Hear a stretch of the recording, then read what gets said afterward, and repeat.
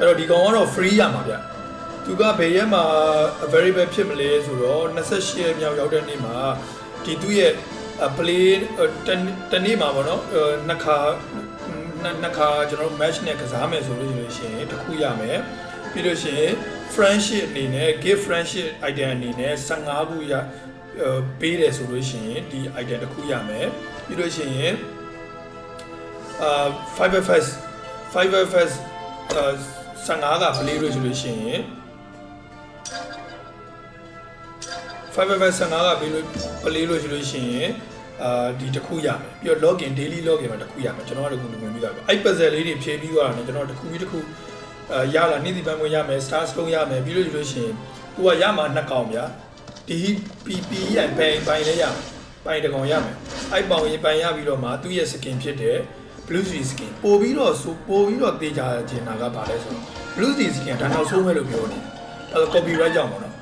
ဒီတစ်ခေါက် event ပြီးသွားတဲ့အခါနောက်တစ်ခေါက်ကြာရင်လာမလာမသိကြဘူးအဲ့တော့ဒီတစ်ခေါက်မှာရအောင်ယူရင်ယူလာယူလာလို့ယူလို့ရှိရင်တော့နောက်တစ်ခေါက်ပြန်ရဖို့လို့ဒါ limited skin ဖြစ်သွားနိုင်တယ်ပေါ့နော်ဆိုတော့အဲ့လိုဆိုတော့ဒါလေးကိုလည်းဒီ event လေးကိုလည်းမဖြစ်မနေပေါဝင်စေချင်တယ်တော့အဲ့ဒါအဲ့ဒါလေးကိုလည်းဒီထားပြီးပါဝင်နေတာ share ပြရပါတော့ကျွန်တော်ဟို channel ဟိုစိတ် အာဒီစိတ်စေရမှာလည်းကျွန်တော်ထပ်ပြီးတော့မှဒီဟာနဲ့ပတ်သက်တဲ့အသေးစိတ်ကိုထပ်ပြောပြပါအောင်ပေါ့နော်အဲ့ဒါဆို Hello Kitty ကိုအဲ event လေးကိုလည်း share ပေးချင်တာပါ10ရက်ပဲအဲဝင်ရပြီးတော့မှရမယ့်ဥစ္စာတွေကဗျာတကယ်တကယ်တချို့နေရာတွေမှာဆိုဗျာဒီလိုမျိုး Hello Kitty နဲ့ပတ်သက်တဲ့ဥစ္စာကို tree လေးရဖို့အတွက်ဒီ killing effect လေးရဖို့အတွက်ကို